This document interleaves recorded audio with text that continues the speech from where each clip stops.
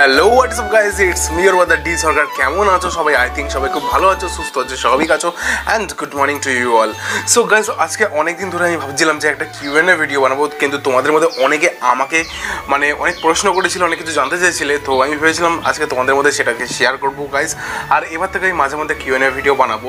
আর তোমাদের কিছু জিজ্ঞেস করা থাকলে বা কোনো কিছু জানার থাকলে অবশ্যই আমাকে তোমরা ডিএম করতে পারো বা ভিডিওতে কমেন্ট করতে পারো। যদি তোমাদেরকে রিপ্লাই নাও দিতে পারি, আমি কিন্তু একটা আলাদা করে কিউএনএ ভিডিও বানিয়ে দেবো।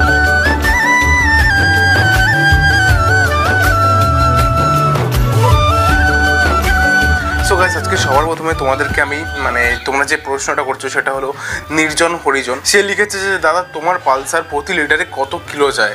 তো কত কিলো?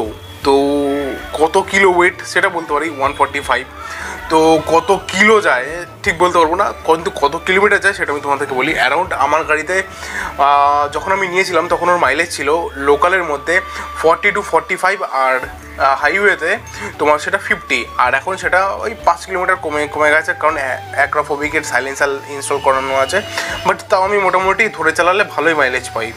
তো তুমি ধরে চলো যে মোটামুটি আমি সিটিতে চল্লিশ আর লংয়ে পঞ্চাশও পেয়ে যাই, এরকম।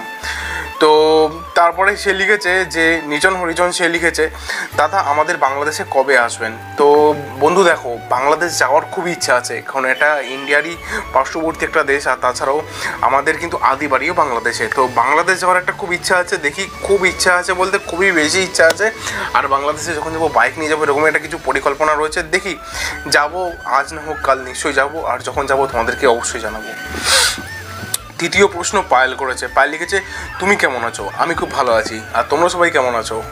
আশা করি ভালো আছো। সুস্থ থেকো। তারপরে চতুর্থ প্রশ্ন করেছে যে, তন্দ্রা চ্যানেল কি নতুন খুলেছো?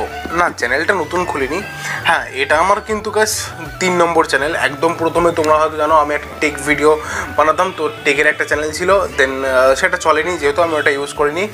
দেন আমি খুলেছিলাম আমার একটা মানে কি বলব, ওটাতে কমেডিয়ান ভিডিও হতো, গানের ভিডিও হতো। তো ওটা অনেক বড় একটা চ্যানেল ছিল, সেটাকে, সেটা গাইস মানে কপিরাইট কিছু ইস্যুর জন্য ডিলিট হয়ে যায়। দেন আমি এই চ্যানেলটা খুলেছিলাম। এটা মোটামুটি তাও দু বছরের ওপর হয়ে গেছে। রাইডার বাইকার স্তব লিখেছে, আপনার ভিডিওটা খুব ভালো লাগল। আপনার ভিডিওটা দেখে পাশে আছি। Thank you so much guys এইভাবেই তোমরা আমার ভিডিওগুলো দেখো, আর এইভাবেই ভিডিওগুলো দেখে এত পরিমাণ ভালোবাসা দাও। আর আমি তোমাদের জন্য নতুন নতুন কন্টেন্ট নিয়ে আসো তোমরা কীরকম টাইপের ভিডিও দেখবে, অবশ্যই কমেন্ট করো। থ্যাংক ইউ রাইডার স্তব রঞ্জিত কোহলি, সে লিখেছে হ্যান্ডেল গার্ড উইন্ডশিল্ডের প্রাইস হ্যাঁ তোমরা জানো, আমি আমার গাড়িতে শুধু না অ্যাপাচি হর্নেট সব গাড়িতে মোটামুটি হ্যান্ডেল গার্ড উইন্ডশিল্ড ইনস্টলেশন করেছিলাম। তো গাছ এখন অনেকটা প্রাইস কমে গেছে। তো আমি তোমাদেরকে, দেখো, মা তার অটোমোবাইল তোমরা দেখতে পাচ্ছ, এখানে ব্লিঙ্ক করছে। তো আমি তার ফোন নাম্বারটা দিয়ে দিচ্ছি, তোমরা স্ক্রিনটা ক্রস করে তার ফোন নাম্বারটা নিয়ে তাকে, তার সাথে একটু কন্ট্যাক্ট করে নেবে। আই থিঙ্ক তোমরা একদম সঠিক রেটটা জানতে পারবে। এবার লিখেছে হচ্ছে Hansda the Som. I think আমি ঠিক বললাম। হান্সদা সোম লিখেছে স্টিকারিং কোথায় হয়?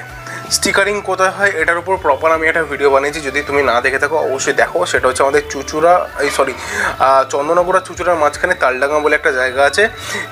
সেইখানটায় জাহির স্টিকারিং বলে যে আছে জাহিরদা তো জাহিরদার কাছে প্রপার স্টিকারিং হয়, আমিও নিজেও কাজ করাই, তো তোমরাও করতে পারো পরবর্তী কোশ্চেন গাইজ আট নম্বর, সেটা হচ্ছে মাই ডটার রোজিলিয়া সে লিখেছে একটা হার্লে ডিভিশনের খোঁজ দিতে পারবে? হার্লে সেল করব।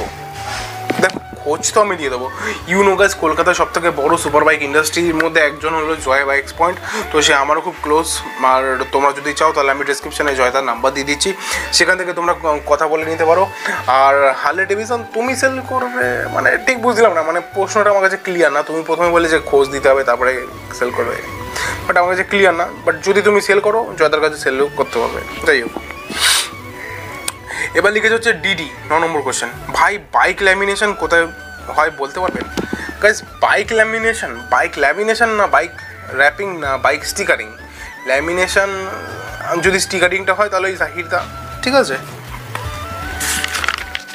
दस नंबर प्रश्न गाइस आयशा त्रिपाठी से लिखे इंस्टाग्राम बताओ एक्चुअली मैडम मैं इंस्टाग्राम क्या बताऊँ मेरा तो इंस्टाग्राम हैंडल ही अभी शो कर रहा है आप चेक करना डी सर्कल लिख के सर्च करना इंस्टाग्राम में मिल जाएगा आपको তো এবার মিস মানে এইবার সব থেকে বড় প্রশ্ন হচ্ছে এগারো নম্বর, কাজী নৌরিন।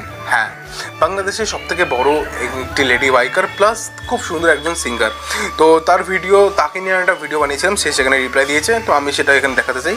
গাইজ সে লিখেছে thank you thanks a lot love from Bangladesh thank you so much Kazi Norin. I hope তোমার সাথে খুব একটা দেখা হবে, আর তোমার গান আর তোমার বাইক রাইডিং ভালো লাগে। পরবর্তী বারো নম্বর প্রশ্ন সেটা করেছে হচ্ছে noob squad gaming windshield name বাতাও। Actually তুমি যে ভিডিওটা দেখেছ, সেখানে কিন্তু যে উইন্ডশিল্ডটা ব্যবহার করা আছে, সেটা আমার ভ্যামের একদম প্রথমে ছিল। সেটা হচ্ছে তোমার ফেজার ওয়ান টোয়েন্টি সরি ফেজারের ওয়ান ফিফটি সেকশনের যে ভাইজারটা সেটা ইনস্টলেশন করা আছে। বা তুমি এনএস টু হান্ড্রেডেরও উইন্ডশিল্ড ইনস্টল করতে পারবে।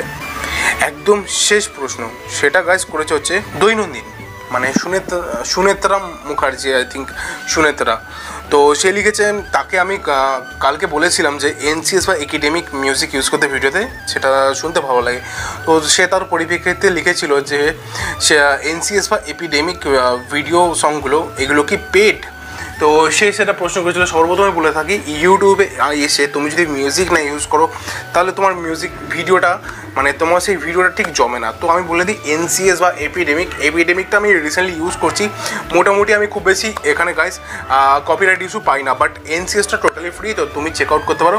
আর thank you so much guys আজকে কিউএনএ ভিডিওটা কেমন লাগল অবশ্যই কমেন্ট করবে। যদি কিছু ভালো লাগে then like share and subscribe করো গাইস আর বেশি বেশি কোয়েশ্চেন করো, আমি অবশ্যই তোমাদেরকে রিপ্লাই দেবো। সো গাইস দেখা হচ্ছে অন্য একটা ভিডিওতে ততক্ষণ যেন stay subscribe good day boys